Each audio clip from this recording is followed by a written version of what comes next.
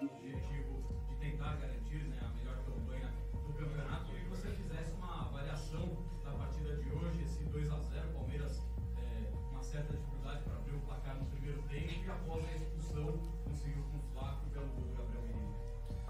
É, boa noite a todos. Sim, é verdade. É uma equipa muito bem organizada defensivamente. E às vezes o segredo é perceber quais são as nossas forças, perceber contra, contra quem é que estamos a jogar e perceber se vamos dividir o jogo ou então esperar por uma transição ou por uma bola parada, que foi isso que a portuguesa hoje estava à espera, com uma linha de 5 muito bem definida, sem, sem, sem haver movimentos de saltar de trás para a frente para abrir espaço. Acho que acaba por ser uma vitória justa da equipa que mais que é melhor. Esta é a primeira melhor, uma equipa que, que é séria, que fez um trabalho sério. Parece fácil manter este nível de consistência, este nível de concentração, todos os jogos.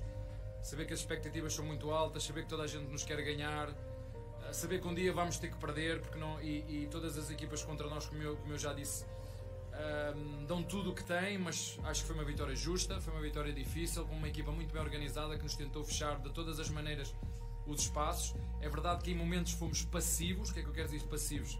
Temos muito controle de bola, tivemos muita bola, muita bola, mas sem ser objetivos, sem ser verticais, ah, porque quando chegamos ao último terço temos que fazer coisas, temos que fazer o toque e rompe, temos que meter a bola na área, temos que rematar no golo, temos que criar faltas, penaltis, um, o que for, mas uh, em momentos fomos passivos, mas no modo geral acho que produzimos o suficiente para sair daqui com, com uma vitória, fica, ficam dois golos e, e a nossa baliza a zero também é importante.